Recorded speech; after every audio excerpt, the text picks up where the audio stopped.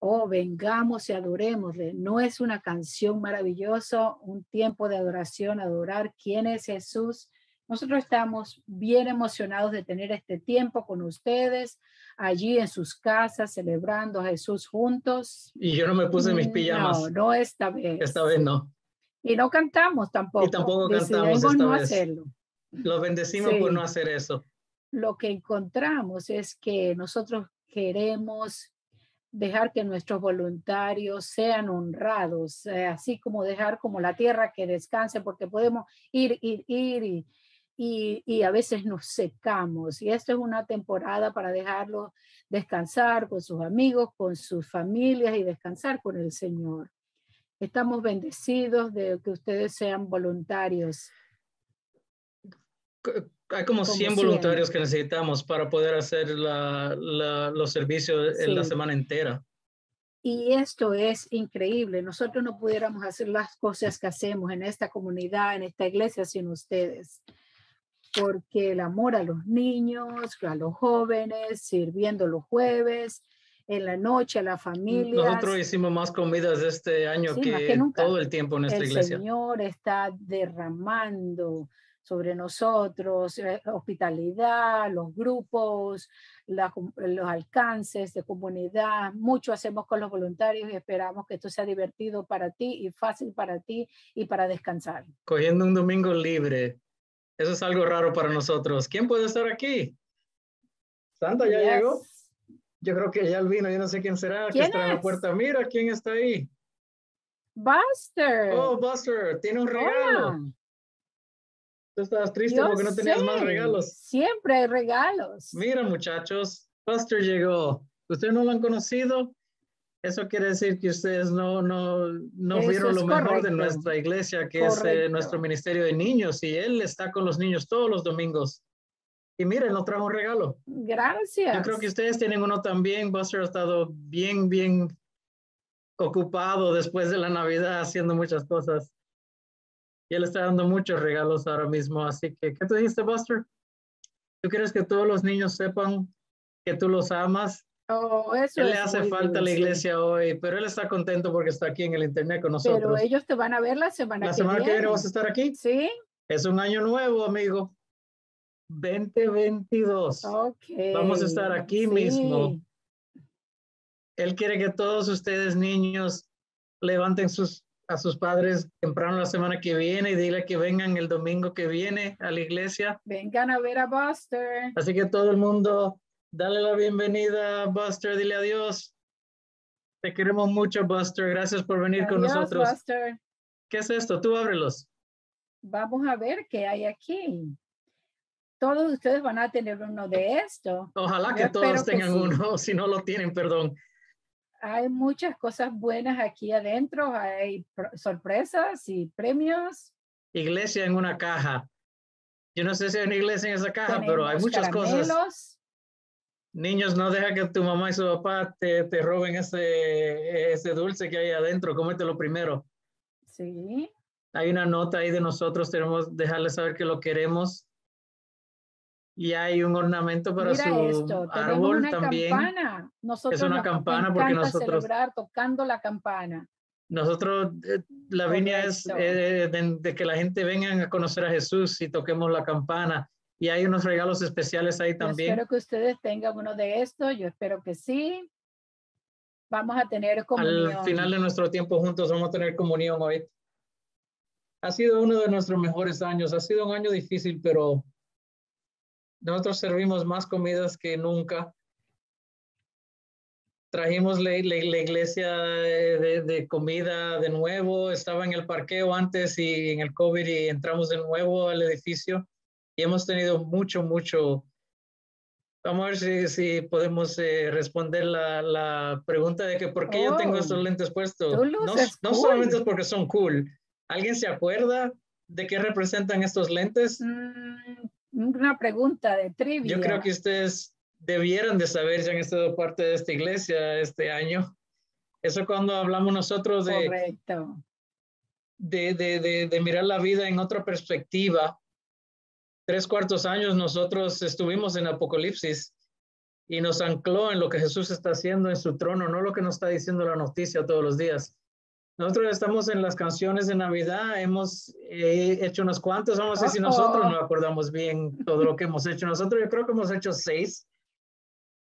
Si estuvieron en la, la, Nochebuena, hicimos seis. Yo sé, por, seguro, María. María es una canción. Pero no es la primera. Pero no fue la primera. ¿Cuál fue la primera? Gabriel. Gabriel le canta a María.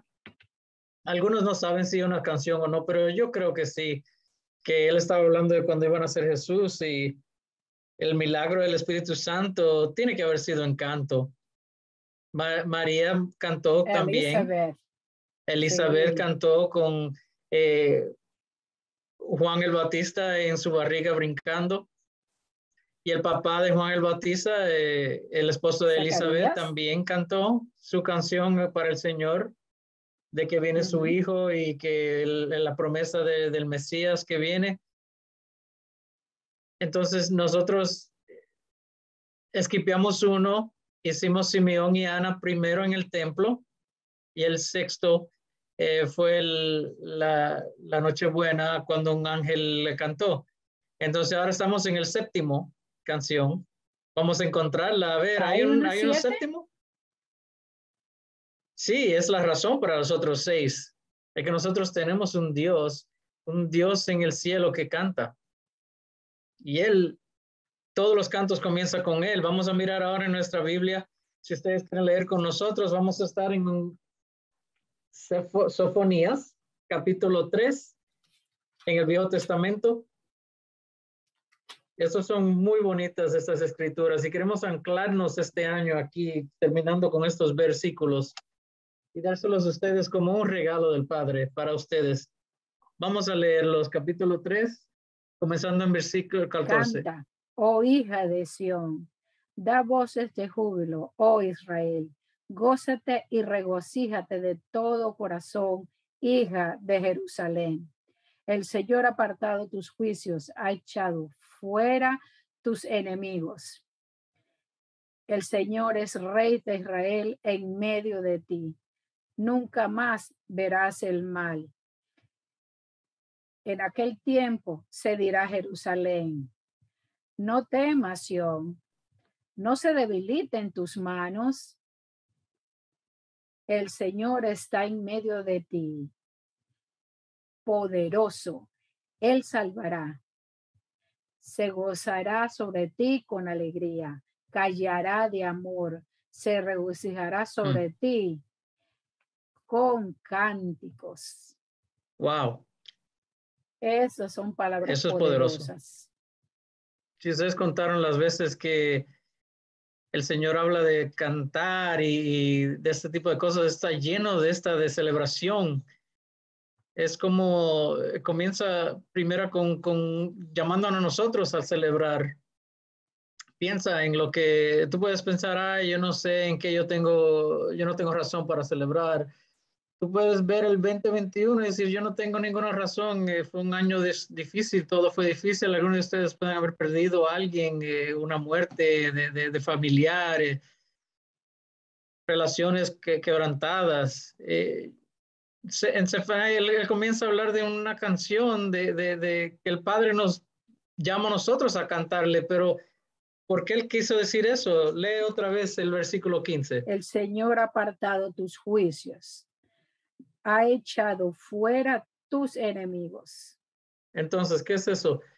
Yo no sé, cuando yo pienso al Señor echando fuera mis enemigos y apartando los juicios, es el perdón de Dios. Eso es lo que quita el, el los juicios, el sí, que es Navidad. lo que es la Navidad, de lo que se trata. Tú puedes encontrar en estas escrituras tantas conexiones con eh, acabando con nuestro enemigo. Eso estaba en la, la, canción de Zacarías y que Jesús vino y, y, le ganó a nuestros enemigos. Hay tantas razones aquí para cantar.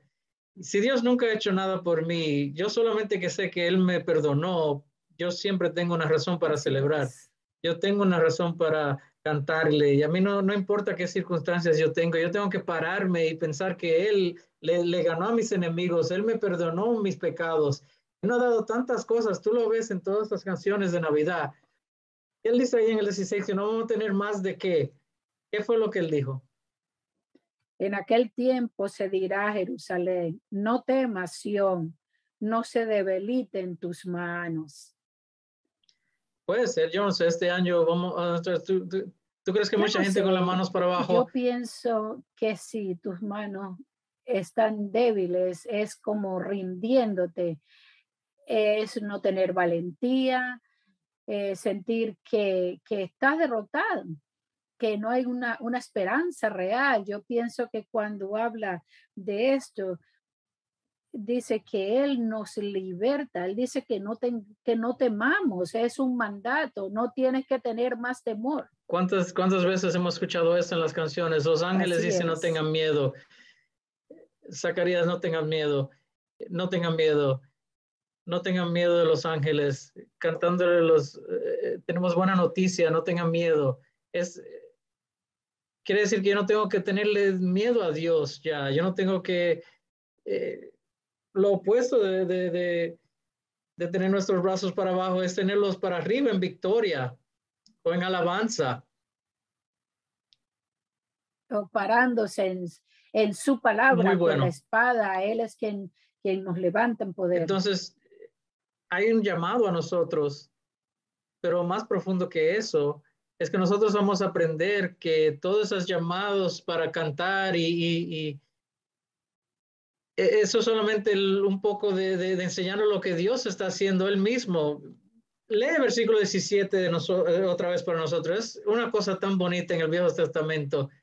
Sacanaya 3, el Señor está en medio de ti, poderoso.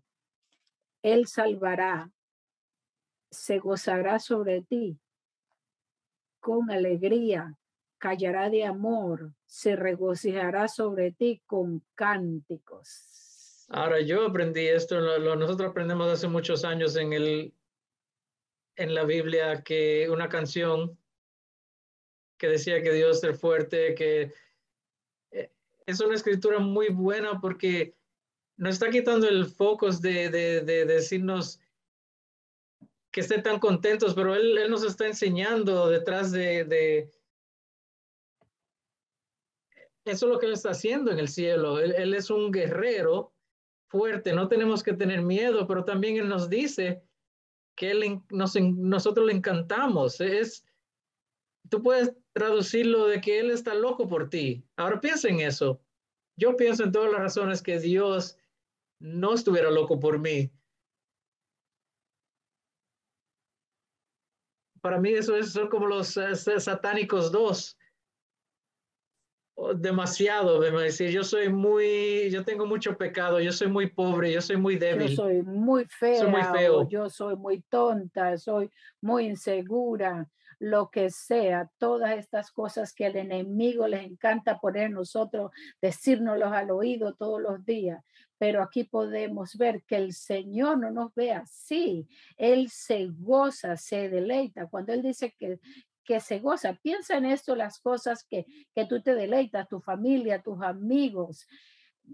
Deleitarse, ahí no hay dolor, no hay vergüenza, es un, gozo puro y el, del Señor dice que Él se deleita sobre nosotros. No te tolera. Yo puedo leerlo que el, el Señor nos tolera, él más o menos nos quiere, o hasta Él nos quiere. Ahora, pero no, esto para mí, yo no sé, pero es algo tan profundo. De, yo pienso en Él sonriendo. Y nosotros muchas veces hemos hablado de esto, si se acuerdan, cuando nosotros volvimos de sabático, nosotros aprendimos que queremos vivir en la sonrisa de Dios. Nosotros tuvimos una serie en eso. sí, pero qué tiempo, Qué cosa más linda, qué lugar donde vivir en vez de estar en, No quiero estar en eh, Bravo. Tú tienes que entender que estos regalos de Dios, que Dios, que, que, Jesús nos trajo, Él nos trajo paz con Dios, que Dios no solamente nos tolera, Él no solamente nos perdona, Él no, no nos aguanta nada más, Él nos ama, Él se deleita en nosotros. En nuestro libro, El, Poder del Feo, Kim tuvo una experiencia aprendiendo que Dios se deleita en ella. yo quiero que entiendan aquí en esta historia, Dios le habló a ella de una película que vimos muchas veces. Dios te puede hablar sí, a de una, película. Dios puede eh, hablarte en una película de Jack Nicholson, eso sí es gran cosa. Está yendo ahí al pozo profundo. Y, tiene unas cosas malas y esto, pero hay que, que, sacar eso de ahí. Pero tienes que entender, una película se llama As Good as It Gets. Es de un hombre neurótico, quebrantado, que está tratando de encontrar amor en su vida. Y él conoce una muchacha en un restaurante y él la vuelve loca. Él es muy bueno con ella. Y él le dice esto, yo puedo ser la única persona en la faz de esta tierra que, con, que sabe que tú eres la mejor mujer en la tierra. Yo puedo ser el único que te aprecia lo tan gran que tú eres en cada cosa que tú haces. Ahora, con eso en mente, habla de tu experiencia en la película él tenía la tendencia de constantemente decir cosas, no tenía filtro y estaba constantemente criticándola o viéndola, eh, viéndola. Y ella estaba casi que lista con él y le dijo, dime una cosa buena. Entonces, cuando él dice todo esto, ella se derritió porque él estaba, él estaba entendiendo quién era ella como persona, a pesar de toda su locura. Y yo estaba ahí sentada y yo estaba eh, teniendo como un tiempo difícil en entender esto. ¿Tú tienes alguna vez algo, tú has oído alguna vez algo que eso se queda en tu corazón como una espada en tu corazón y esas palabras se quedaron en mí? Y yo pensaba que era la película y teniendo tiempo con el Señor, yo escuché que el Señor me dijo, así es como yo me siento acerca de ti, que Él realmente me entiende, se goza en mí, se deleita en mí, me entiende no mucha gente me puede entender. A mí yo soy como un calidoscopio y yo no soy una seguidora de las reglas, yo no soy organizada, yo soy de espíritu libre y, y, la, y la vida es difícil y complicada para mí, pero el Señor, de la forma en que yo soy, Él me ama, Él me entiende y Él ama cada aspecto de mí. A lo mejor no mucha gente lo hace, a lo mejor hay gente que te condena por lo que tú eres, por lo que está pasando con tu personalidad y tu vida. No estoy hablando de pecado o cosas que necesitamos. Todos nosotros tenemos algo raro en, en, nosotros, no haces único. Ah, ah, la cosa que la gente... Hay cosas de mí que a mí ni me gustan. Yo no estoy hablando de mi rebelión ni, ni mi naturaleza eh, que, que, que, Jesús tuvo que venir a la cruz por mí, pero yo estoy hablando de, yo puedo creer que Dios te entiende a ti y, yo puedo decirle a los otros como un pastor, Dios te ama, Él se delecta en ti, pero pensando que Él de verdad a mí también me entiende y está loco por mí, enamorado. Eso es lo que dice aquí Sefonías. Es una canción que cantan de, de, de, que Él se delecta y que nos ama. Por eso es que nosotros eh, nos dicen que somos la, la, la, esposa de, de, de, Cristo. No es que nosotros lo merecemos, pero Él mismo nos, nos, nos hizo en, en, la barriga de nuestras madres. Y él, hizo algo único a cada uno de nosotros. Él, él, te entiende más de lo que tú mismo te entiendes. Ahora, eso es liberante para mí. Si tus hijos sienten eso de, de, de, ti, eso es algo que es, eh, uno dura mucho llegar ahí en, eso, en ese lugar. Tú lo puedes decir a cada uno de tus hijos, yo te amo, todos son diferentes. De una, Nosotros aprendimos eso. Forma. No, no hay una, un mismo estándar para, para tratar a cada uno de tus hijos yo recuerdo cuando yo empecé a aprender de cómo los hijos aprenden cuando son diferentes, que tienen un lenguaje de amor distinto. Y después pueden haber niños, todos tenemos niños con diferentes personalidades que nos vuelven loco. Y es lo mismo en el, en el, matrimonio y tú tienes que aprender a, a, gustarte eso y, y, delectarte en eso de, de que somos diferentes. Y si no es bastante que Dios sonríe y que se delecte en nosotros. Lee esta parte para que tú entiendas aquí.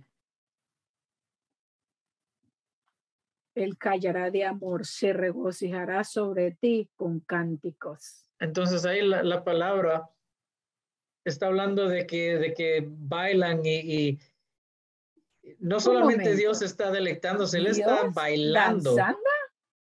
No, no. Bailando feo, está bailando como Dios. Yo no, cuando él...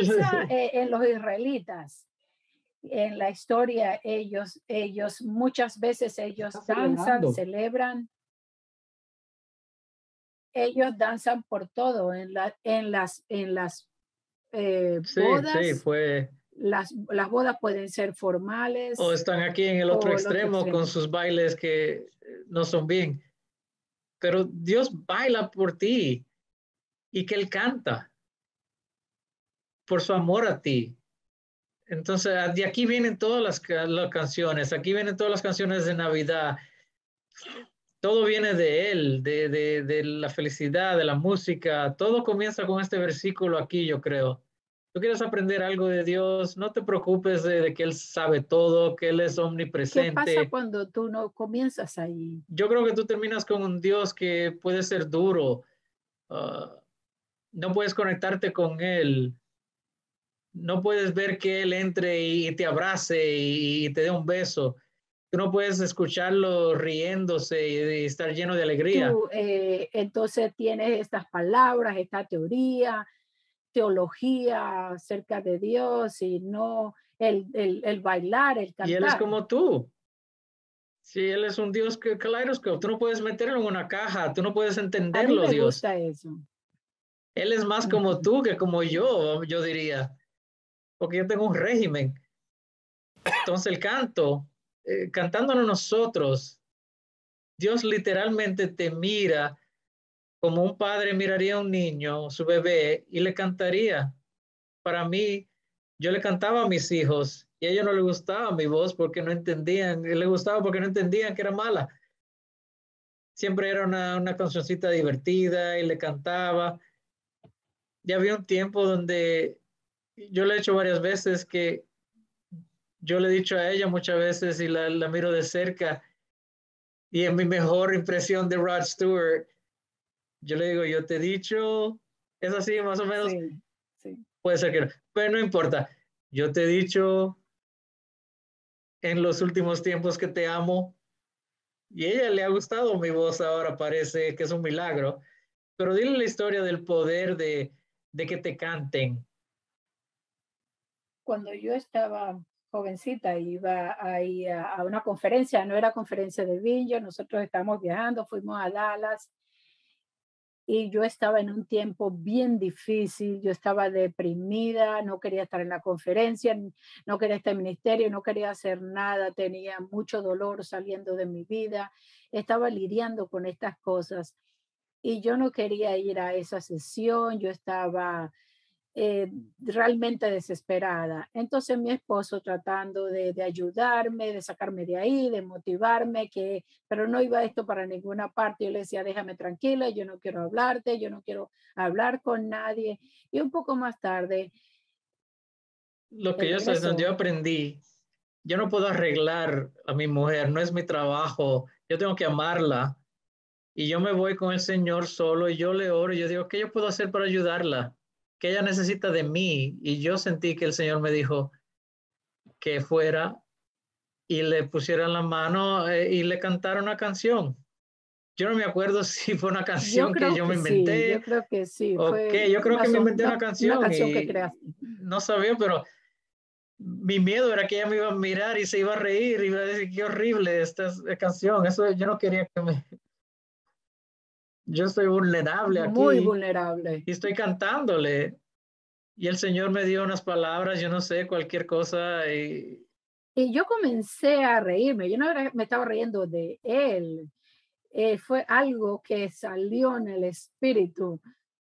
Eh, fue divertido, dulce, humilde, pero yo sentí el gozo mientras él estaba haciendo esto y nosotros estábamos en ese entonces en una guerra espiritual bien fuerte. Yo sentí que el Señor me dio eh, una palabra casi que profética. Así es como se va a romper este espíritu mm. pesado. Sí. Es, el, el, enemigo va a venir y puede traer este espíritu pesado sobre ti.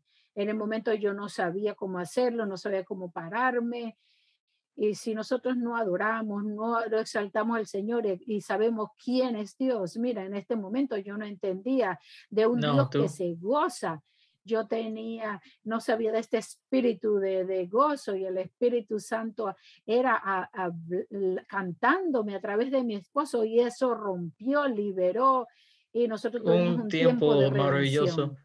Yo, nunca, pensé en ese contexto de que yo estaba actuando como el Señor, porque Él canta, yo no sabía, esta escritura no lo había escrito, no lo había eh, escuchado. Yo no voy a decir que tú literalmente vas a oír eso, pero cuando tú lees esta escritura, puede ser que Él te la aplique a ti. Tú dejas que tu eh, imaginación del Espíritu Santo trabaje con que el Señor canta. Vamos a terminar en un momento con comunión y vamos a tener una canción que es de Dios que, cantándonos sobre sus hijos es de lo que Él nos ama y lo que Él se le electe en nosotros. Deja que Él te ponga sus, brazos alrededor de ti, deja que Él eh, sonría de ti, que sea algo contagioso, que Él te cante solamente a ti. La manzana de sus, la niña de sus ojos. Y yo garantizo que eso es verdad.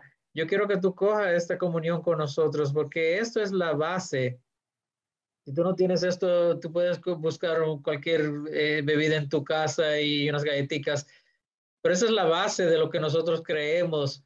No es eh, de ideas ni sentimientos. Esto es como yo sé que Él se delecta por mí, porque Él, Él se mandó a su Hijo a morir por mí, por ti. Así es que yo sé que Él está en serio, porque en lo peor de mi vida, Él aún así mandó a su Hijo a morir en la cruz por mí. Esas son las cosas que uno debe haber abierto antes de tiempo, si un pastor, eh, porque hay dos cosas aquí yo, ay Dios. Vamos a coger el pan juntos, el pan de vida que, que vino al mundo en la Navidad y vamos a celebrar a Jesús y su nacimiento. Y como Él nació, Él pudo morir por nuestros pecados y ganarle al pecado. Vamos a orar mi amor. Padre, te damos gracias por el pan de vida. Gracias porque tú eres el pan de vida, que tú cantas sobre nosotros, tú traes vida, literal vida a nuestro espíritu, nuestro corazón, nuestra alma. Gracias, Señor, por el sacrificio de la cruz para que nosotros sepamos la verdad de tu palabra, la, la, verdad de la eternidad. Gracias, Padre, porque tú nos has perdonado, porque tú nos has limpiado, de toda nuestra injusticia por tu gracia. Tomamos esto y lo, en tu precioso nombre, Jesús. Jesús dijo, tómate esto que es mi cuerpo quebrantado por ti.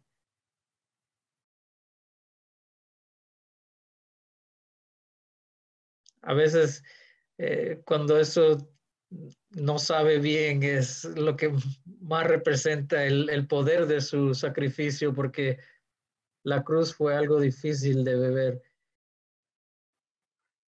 Y coge lo, lo de la vida y nos da la, la, fuerza de Jesús. Él es un Padre que nos canta. Vamos a tomarnos esto junto y celebrar el poder de su sangre. Mientras nosotros decimos aleluya, gracias Señor.